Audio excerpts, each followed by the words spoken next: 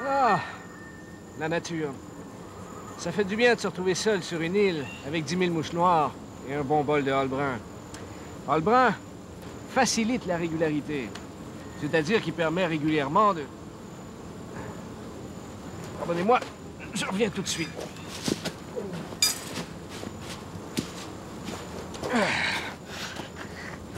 Hall brun goûte méchant.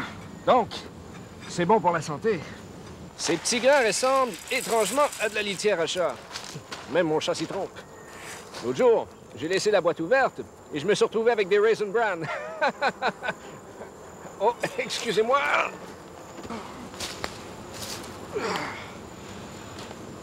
Un bon bol de hall brun constitue une excellente source de hall, de bras et de bol.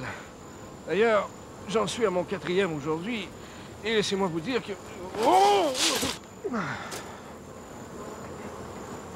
Parlons maintenant de la pollution de nos lacs. L'absence de fosses septiques cause des torts irréparables à l'environnement. Et je...